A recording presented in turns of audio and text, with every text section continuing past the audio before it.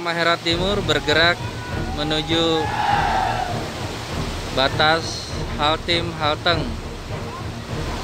Masa aksi kurang lebih 250 orang dari empat desa. Direncanakan aksi di jembatan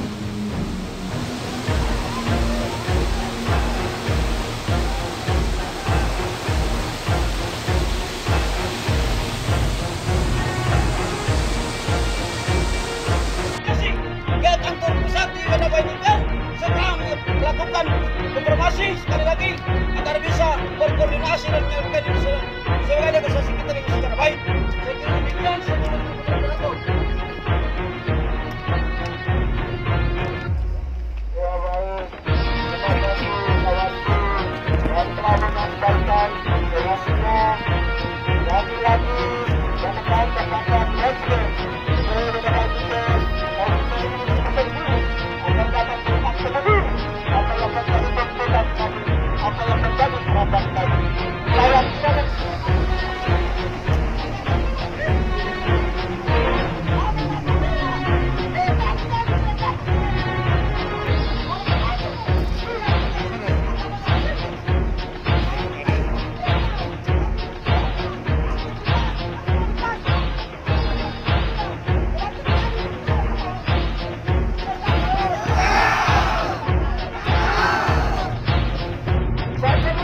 Kepada seluruh masa aksi Setelah ini adalah bentuk Resistensi kita Adalah bentuk perjuangan kita.